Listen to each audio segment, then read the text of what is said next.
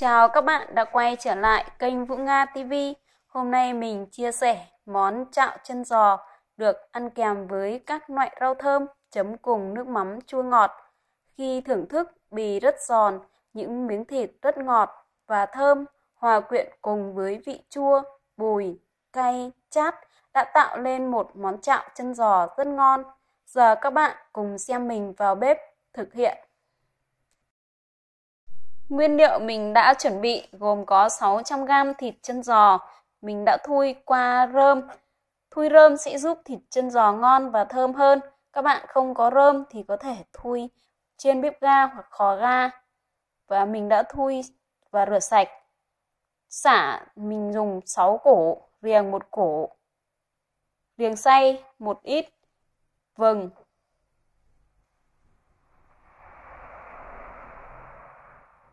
Rau thơm các loại gồm có lá mơ, lá sung, húng, rau mùi, kinh giới và hai củ tỏi, ớt, một quả chanh.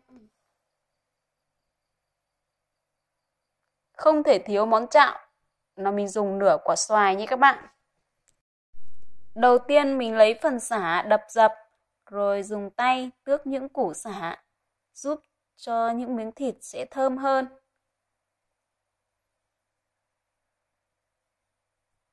Riềng thì mình dùng nửa củ thái mỏng.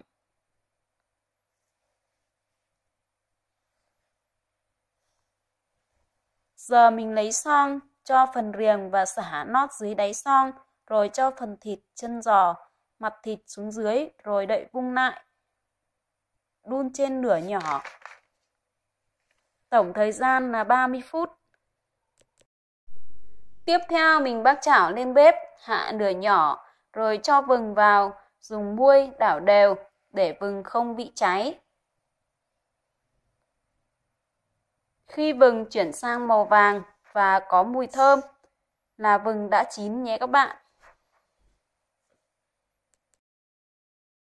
Trong lúc chờ đợi thịt chín thì mình đi chuẩn bị các nguyên liệu.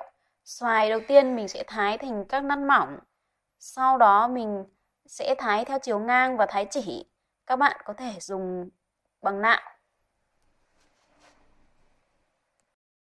Để chọn xoài thì các bạn nên chọn xoài hơi ương sẽ có vị chua và vị hơi ngọt, sẽ giúp món chạm ngon hơn. Và các bạn không thích xoài thì có thể thay thế bằng khế chua cũng được. Khi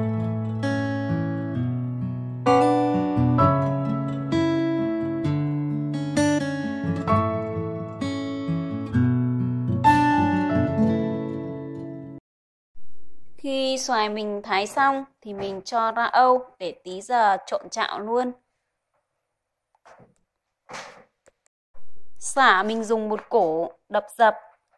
Sau đó thái thật nhỏ.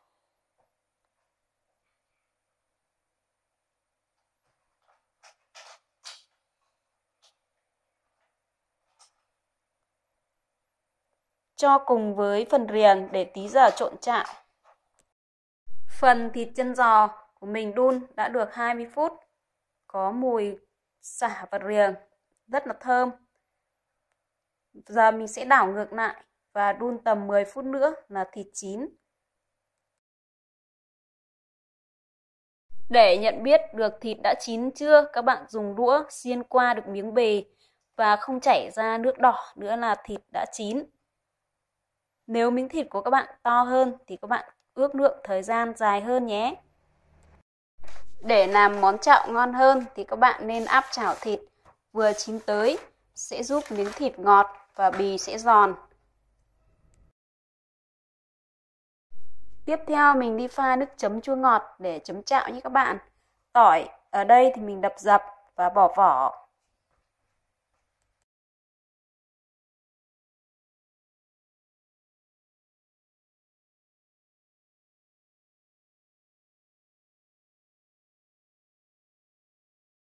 Sau đó mình băm nhỏ số tỏi ra. Một nửa mình dùng pha nước chấm và một nửa mình cho vào chảo.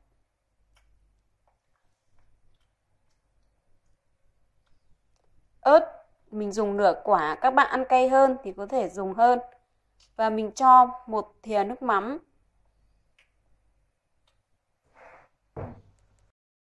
Một thìa đường và một thìa cà phê bột ngọt Quấy để cho các hỗn hợp được tan đều. Thịt giờ mình chia thành từng khổ rồi mình thái thật mỏng. Thái mỏng sẽ giúp uh, ngấm gia vị, món chạo sẽ ngon hơn. Các bạn nhìn thịt chín vừa tới rất là ngon, rất là thơm.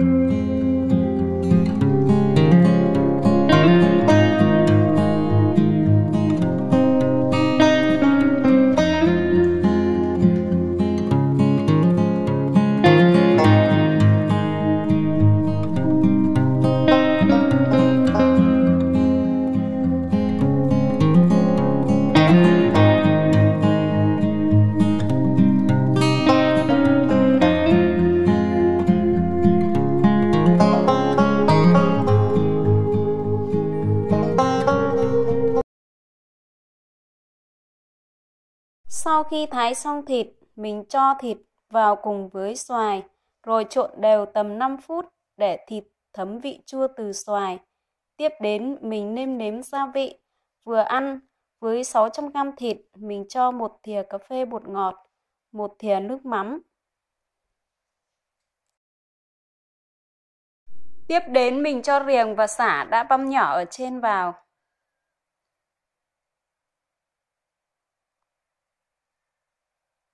Sau đó mình trộn đều các nguyên liệu lại với nhau.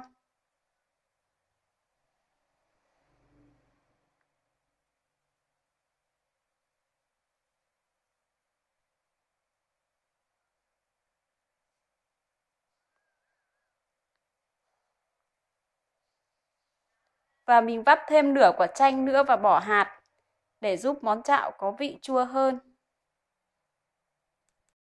Các bạn không thích ăn chua thì không cho chanh vào cũng được.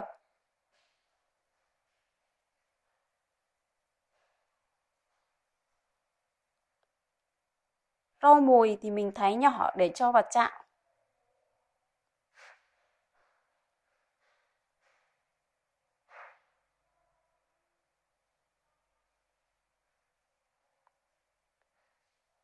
Vừng ở đây thì mình sử dụng hai thìa nhé các bạn.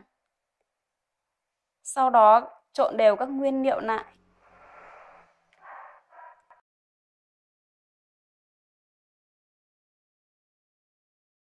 Giờ mình cho 3 thìa nước lọc vào phần nước chấm chua ngọt vừa nãy mình đã pha.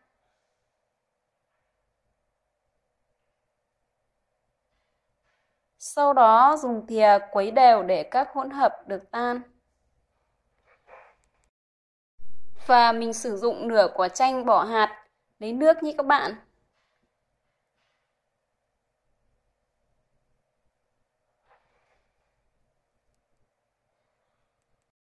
Vậy là thành phẩm món chạo chân giò của mình đã hoàn thành. Giờ mình bày ra đĩa để thưởng thức.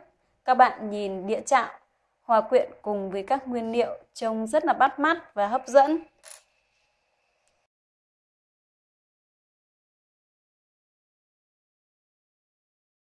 Giờ mình kết hợp các loại rau thơm như lá sung, lá mơ và các loại rau húng.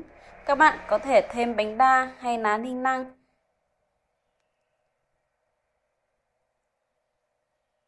Sau đó gắp những miếng thịt hòa quyện cùng với các nguyên liệu.